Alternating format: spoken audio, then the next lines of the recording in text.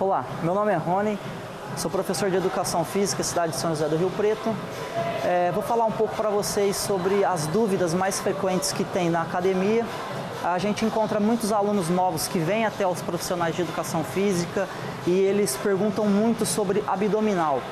É, se eu fizer tantos abdômenes, assim, assim, assado, eu vou, eu vou perder gordura localizada? Não, o abdômen a gente faz para fortalecer uma musculatura específica.